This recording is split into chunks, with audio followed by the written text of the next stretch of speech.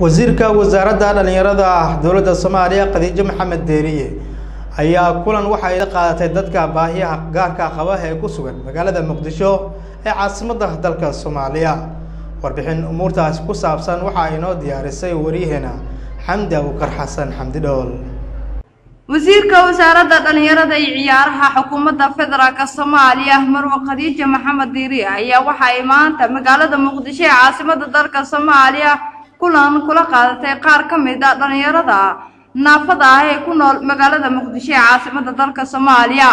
Wasiiradda ayaa sheegtay in dowladda federaalk soomaaliya ee uu hogaaminayo madaxweyne maxamed cabdulaahi maxamed farmaajo. Ay diiradda saari doonto sidii dhallinyarada soomaaliyeed ay dar muuqda uga qaadan lahaayeen siyaasadda dalka.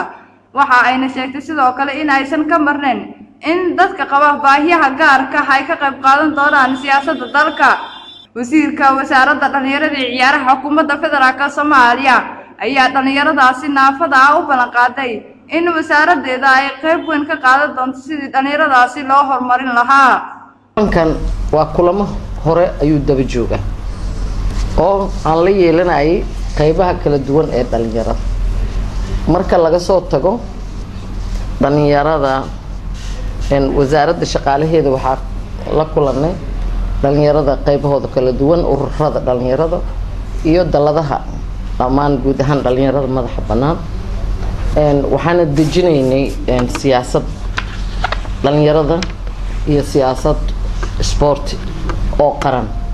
Labadaas siyaasadood waxaan ku bilownay soo bandhigidooda wasiirada dowlad goboleedyada gobolka banaadir xiriirada iyo guddiga olombikada iyo xiriirada hoostaga oo dhan ayaan uga qeyb qaadanay. Waxaan u sii gudbin doonaa qeybaha kala duwan ee dhalinyarada soomaaliyeed ururada jira iyo dalladahooda qeybay ka yihiin dabcan dadkan baahiyaha gaarka a qaba dhalinyarada ma aha intaa ilaahay lixaadkooda u dhamaystiray keliya maaha.